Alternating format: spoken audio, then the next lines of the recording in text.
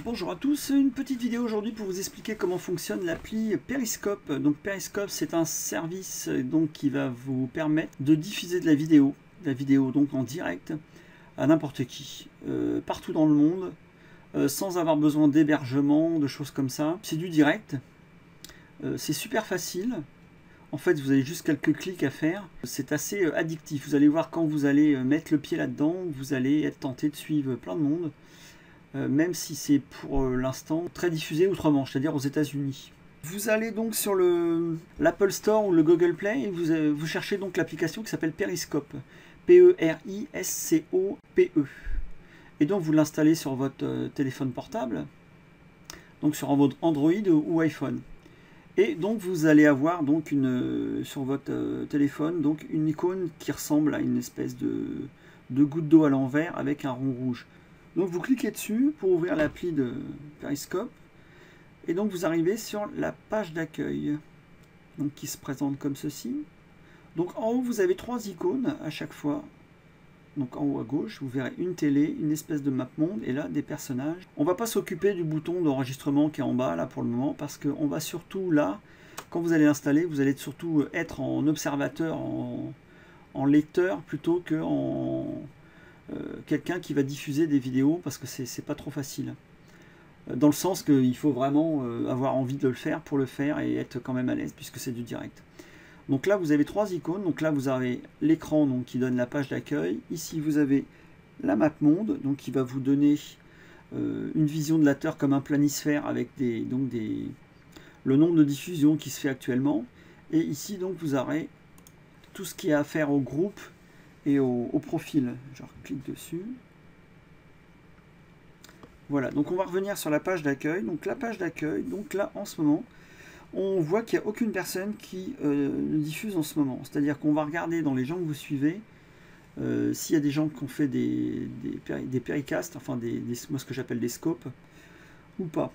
Et donc si on liste en dessous, donc vous allez voir qu'il y a des choses qui se sont passées. Donc là, on a tous les scoops avec les, les titres. Et sur le côté, vous avez donc un nombre d'heures indiqué. Donc là, on vous dit a 4 heures que ça a été diffusé, là 5 heures, là 6 heures, etc. etc. Donc si vous voulez regarder un scoop, bah, c'est assez simple. Hein. Il suffit de cliquer sur le scoop. Donc là, on va, cliquer, on va cliquer par exemple sur euh, euh on clique donc sur King Voilà. Donc là, vous avez le titre, vous avez donc la personne qui le fait, et vous avez donc un, espèce d'icône avec une flèche, euh, avec la flèche vers la droite. Donc ça c'est pour lire. Vous avez, si vous déplacez votre doigt du bas vers le haut sur votre téléphone, vous allez voir apparaître tous les gens qui suivent la personne au moment où la diffusion a été faite. Si vous vouliez, par exemple, suivre quelqu'un euh, que vous voyez en ce moment, il suffira de cliquer sur la personne et de faire suivre. Donc là, on voit qu'elle a 15 abonnés qu'elle a 11 abonnements et que le 0 là ça signifie le nombre de diffusions euh, que vous pouvez euh, voir en ce moment. C'est-à-dire encore valide. Donc si vous voulez suivre vous cliquez sur suivre. Si vous voulez pas bah, vous faites un retour arrière avec votre, votre écran. Ici en haut vous avez trois petits points. Donc là on clique sur les trois petits points. Et ce sera donc pour bloquer l'utilisateur. Si vous aviez par exemple quelqu'un qui vous suit la personne là qui vous suit et vous voulez plus avoir ces notifications euh, vous cliquez sur bloquer l'utilisateur et les, notifications de, passage ne passeront pas chez vous. Donc on va revenir en arrière, encore une fois, et on revient donc sur le scoop. Donc là on va cliquer sur play, et on voit, donc il y a un certain temps de latence pour que ça démarre, parce que je pense qu'il faut se connecter au réseau. Et donc c'est bien en anglais. Alors on va regarder vite fait l'écran, ce qui se passe. Donc sur la, partie gauche, vous avez donc les gens qui participent et donc qui mettent certains commentaires. Vous voyez qu'il y a des phrases, il y a des questions, etc. Et sur la partie droite, vous avez plein de petits cœurs qui arrivent. Ça, en fait, c'est le moyen qu'a trouvé euh, donc Twitter, parce que c'est une application qui vient de Twitter. C'est le... On va couper le son un peu. C'est le moyen qu'a trouvé Twitter pour justement... Euh, montrer votre satisfaction par rapport à la vidéo. Si vous êtes satisfait de ce que vous voyez, au, même moment, vous allez tapoter sur le bas de votre clavier pour donner des cœurs. on, va voir juste avant, je vais revenir en arrière, vous allez voir que sur les, profils, on a le nombre de cœurs en haut. Et tout à fait en bas à, gauche, à droite, vous avez donc une touche pause. Si vous cliquez sur pause, donc c'est pause. On se remet en pause. Si vous voulez quitter la, vidéo en cours, donc vous cliquez sur la croix qui est en haut à droite. Et on reviendra donc sur le, les différentes diffusions que vous avez. Je vais revenir sur euh, Kim Gartz pour vous montrer les, au niveau des cœurs. Donc on a cliqué. Et si on fait donc Kim Gartz diffuseur, on va cliquer dessus. On a là des cœurs, on a 3 759 000 cœurs. Donc ça, c'est un peu l'indice de popularité de la personne. Voilà. Et là, par exemple, on a trois récents. Donc là, il y a trois euh, postes, il y a trois euh, scoops en cours qui sont encore valides et qu'on peut encore regarder. Donc là, on va revenir en arrière. On va cliquer sur la map monde. Donc la map monde, donc ça vous montre les différents pays avec les différentes euh, scoops qui sont en cours. On va zoomer votre écran pour arriver sur la France. Et là, par exemple, on voit qu'il y a deux scoops en cours. Ah, ils y sont plus là. Il y a donc il n'y a plus personne. Vous voyez, il y avait deux scoops en cours et là, ça c'est fini. Euh, on va aller par exemple en Angleterre. Donc là, il y en a 5. Et là, on voit donc qu'il y, en a bien 5. Alors, il y a des trucs assez... Euh, vous verrez que c'est assez hétéroclite. Je veux dire par là que c'est... On voit de tout. Euh, c'est un service qui est quand même assez voyeur dans le sens que vous allez rentrer dans la vie des gens et euh, qu'il y a certaines personnes qui n'hésitent pas à montrer euh, tout et n'importe quoi. Là, vous voyez, par contre, par exemple, fuck off. on ne sait pas trop ce qu'il fait, s'il est énervé ou en colère. vous allez voir, j'ai suivi au démarrage un truc que je connaissais pas, qui s'appelle Suicide Girl. je connaissais pas du tout. Ah, je, l'ai coupé par contre, on va revenir dessus. Suicide Girl, donc c'est un euh, je, ne savais pas, je connaissais pas. Aux États-Unis, apparemment, c'est pas une secte, mais c'est un, mouvement de femmes tatouées euh, qui prône la liberté euh, au niveau du sexe, tout ça. J'étais assez étonné quand je suis tombé là-dessus. Et donc, effectivement, là, vous verrez, si vous vous mettez sur Suicide Girl, les nanas, ils ont pas peur. Hein.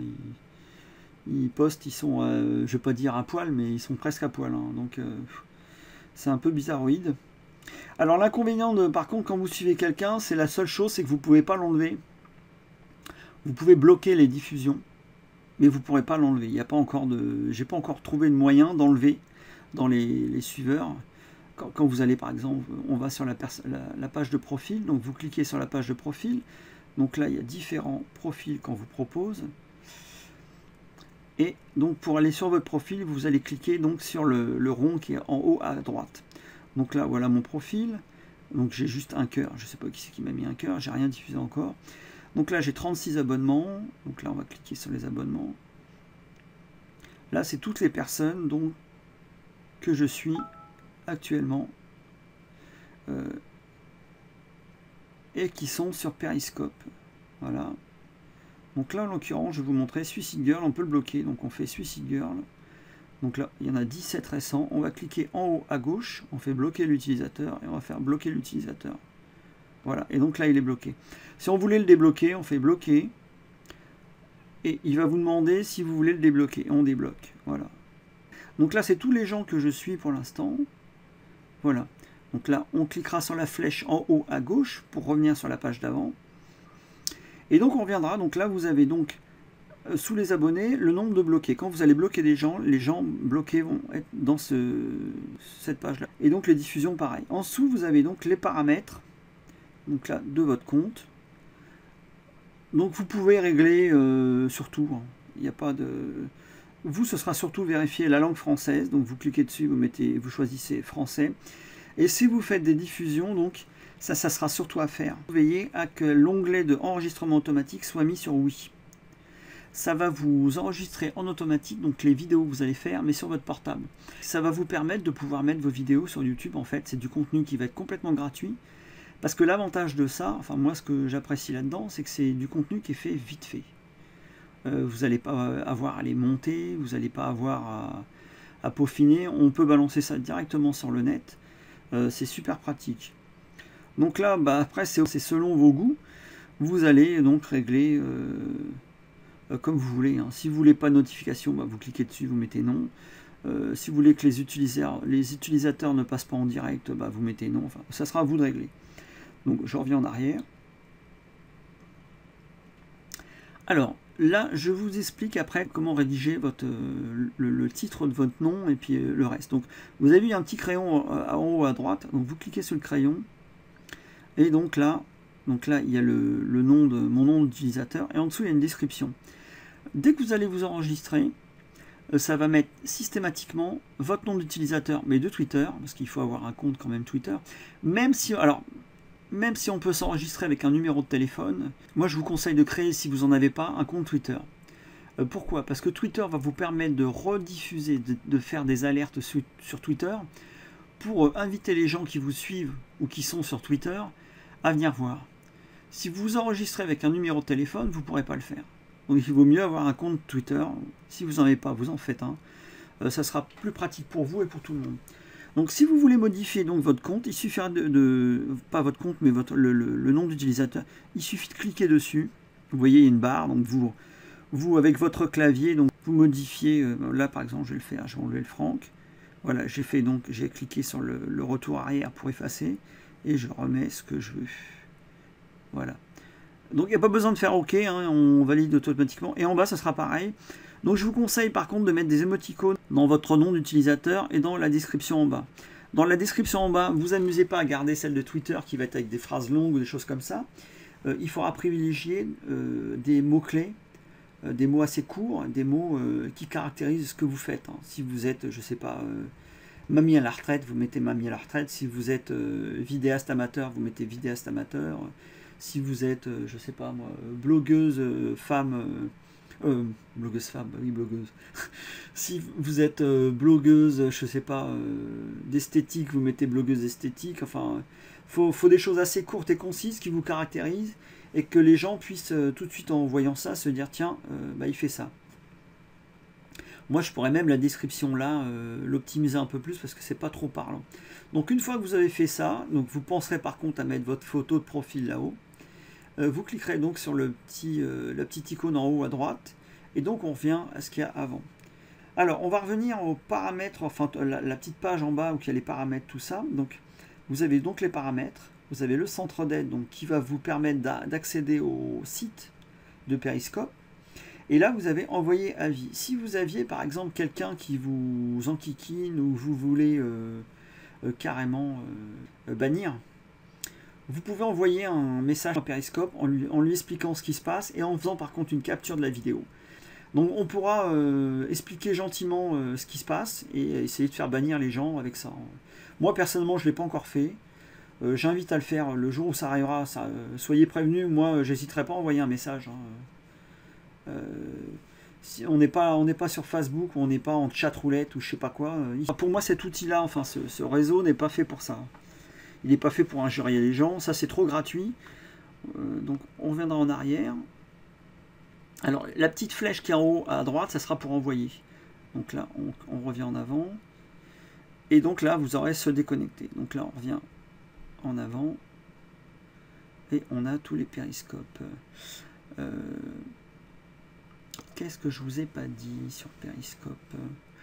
Ah oui, il y a une autre possibilité aussi de voir les périscopes. Alors, voir les périscopes, on peut faire donc de cette manière-là, mais on peut aussi cliquer en haut à droite sur les trois traits, et ça nous met directement donc les gens qui sont en direct et qui font des périscopes. Vous voyez que ça va assez loin, parce que là, c'est on est en Chine ou en Corée, là.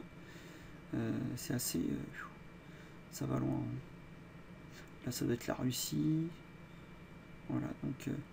Euh, j'attends, j'aimerais bien que Periscope fasse une traduction automatique, ça, ça serait génial de pouvoir avoir les choses comme euh, Google le fait, à traduire tout avec des sous-titres, ça serait franchement nickel. Mais bon, c'est, je pense que si ce service-là se développe, je, pense qu'ils trouveront un moyen de le faire.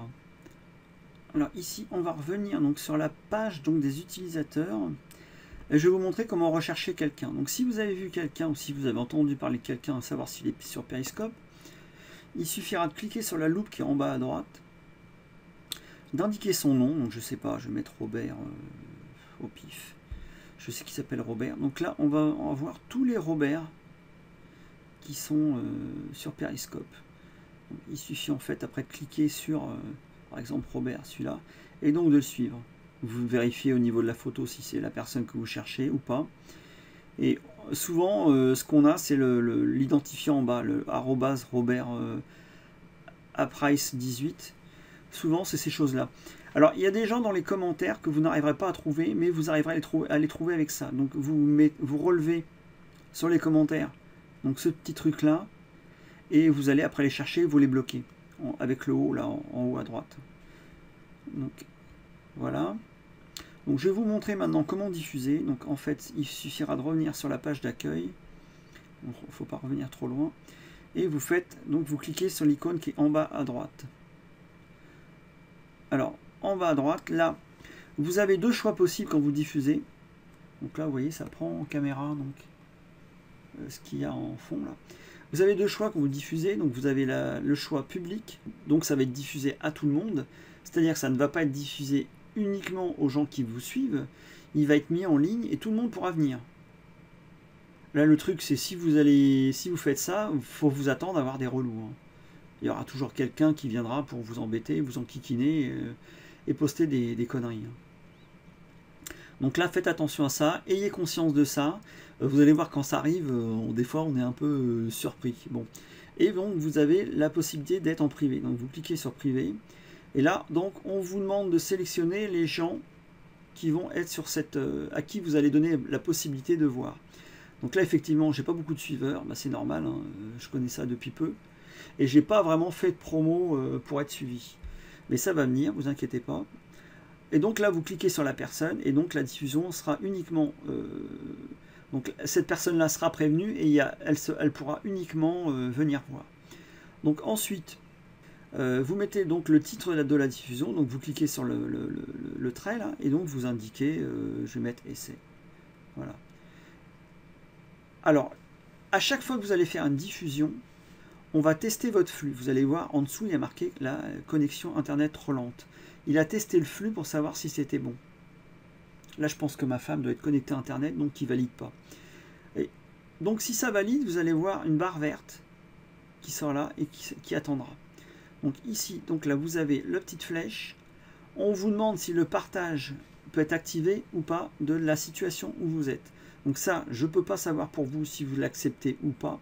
Dans tous les cas, si vous le faites, sachez que ça ne va pas vous donner euh, l'adresse exacte de là où vous diffusez. Hein. On va mettre par exemple si vous êtes à Paris, ça va être le point va être sur Paris, c'est fini. Hein. Ensuite, si vous cliquez sur le petit icône qui est à côté, euh, il y a deux choix possibles. Donc, seuls les utilisateurs que vous suivez peuvent discuter avec vous. C'est-à-dire, vous allez en cliquant une fois sur ce bouton-là, donner la possibilité aux gens qui vous suivent de pouvoir discuter avec vous. Les autres qui vont regarder mais qui ne vous suivent pas ne vont pas pouvoir euh, commenter. Je vous conseille quand vous publiez au démarrage d'activer cette option-là. Ne mettez pas, par exemple, si vous recliquez, vous allez voir tout public. Donc ça, il faudra la cocher. Et ensuite, vous avez Twitter, donc publication activée sur Twitter. Dès que vous allez mettre en ligne, clac, ça va être mettre. Donc là, on a désactivé. Donc une fois que tout ça va être prêt, le, rectangle là va être vert et donc vous allez appuyer dessus et ça va être parti. Alors attention, par contre, euh, je ne peux pas vous le montrer en direct là parce que je faudrait que je fasse diffuser. Mais quand vous allez faire votre vidéo, donc vous avez le choix entre deux caméras. Vous avez la caméra frontale, c'est-à-dire qui est de l'autre côté de votre euh, portable. Généralement, c'est celle qui a la meilleure définition et c'est celle qu'on voit en ce moment. Et qui va diffuser tout comme vous le voyez vous. Si vous changez, c'est-à-dire si vous faites un double clic sur votre écran pour mettre la caméra qui est face à vous, donc la caméra qui est juste en haut de l'écran tactile, euh, la, définition d'une part va être euh, plus, plus, faible en général, mais ça va inverser tout ce qui se passe face à la caméra. C'est-à-dire que si vous avez par exemple, vous montrez un bouquin, vous montrez une pancarte avec un lien, vous montrez, euh, je ne sais pas, une photo, faites attention parce que ça inverse tout. C'est-à-dire que vous diffusez en fait une image comme si vous la voyiez dans un miroir. La personne qui vous regarde va voir finalement, euh, va vous voir comme si vous étiez face à un miroir. Donc tout est inversé. Donc faites attention à ça parce que je connais quelqu'un qui me reconnaîtra si, si elle voit ça, qui avait mis une adresse internet et bah, on ne pouvait pas la lire. Donc ayez conscience de ça. Ça ne vient pas de votre téléphone. Hein. Si vous faites ça, bah, vous double-cliquez sur l'écran pour avoir la caméra qui est de l'autre côté et tout va rentrer dans l'ordre. Donc si vous montrez des choses, eh bien, il faudra faire un double clic sur votre écran pour passer sur l'autre caméra et ensuite revenir sur l'autre caméra pour vous filmer. Euh, pensez aussi qu'il y a un petit temps de latente pour le passage d'une caméra à l'autre, en général de 1 à 2 secondes, ça dure, euh, ouais, ça dure 2 secondes. Voilà, donc là on va annuler, on va revenir sur l'autre page d'avant. On annule la diffusion, voilà. on fait confirmer plutôt. Et on va revenir là-dessus.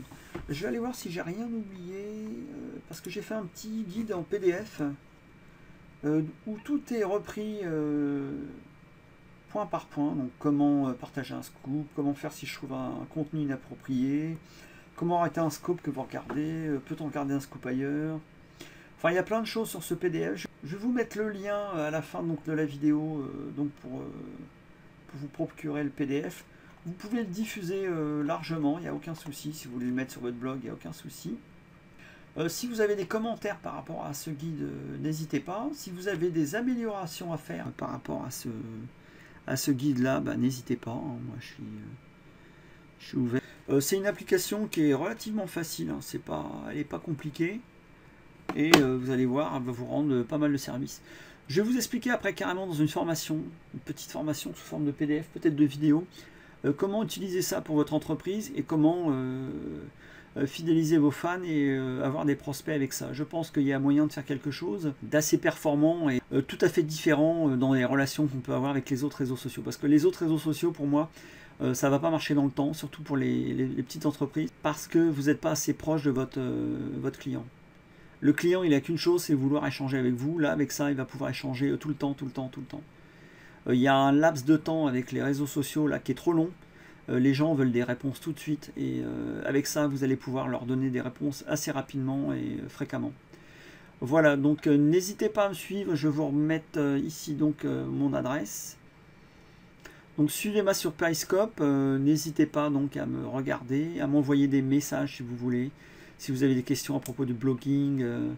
Alors, je vous ai pas dit au démarrage, mais moi je fais beaucoup de l'optimisation de sites, d'images, euh, je fais des vidéos pour les entreprises, je fais... Euh, qu'est-ce que je fais encore?